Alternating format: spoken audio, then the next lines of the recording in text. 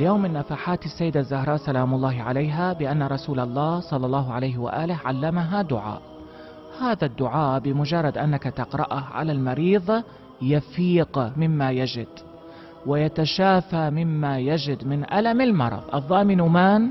جبرائيل عليه السلام الضامن من؟ رسول الله صلى الله عليه وآله الضامن من؟ فاطمة عليها السلام لذلك الإمام الصادق عليه السلام يقول جربوا ولا تشكوا اجعل لديك ثقة بكلام أهل البيت عليهم السلام وسوف تجد الفرج لا محالة. نريد أن نتعرف على هذا العلاج الذي رواه أهل البيت عليهم السلام وورد في كتاب وسائل الشيعة في باب الدعاء وهذا الكتاب جدا مهم وهذا الباب جدا مهم.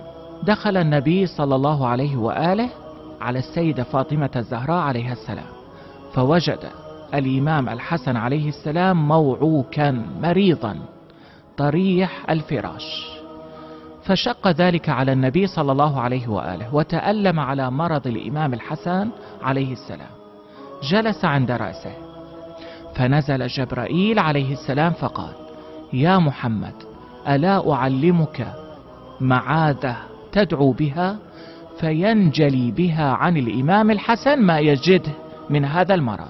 فقال النبي صلى الله عليه وآله بلى. الراوي من السيدة الزهراء عليه السلام. فقال جبرائيل قل يا محمد اللهم لا إله إلا أنت العلي العظيم ذو السلطان القديم والمن العظيم والوجه الكريم لا إله إلا أنت العلي العظيم ولي الكلمات التامات والدعوات المستجابات حل ما أصبح بفلان.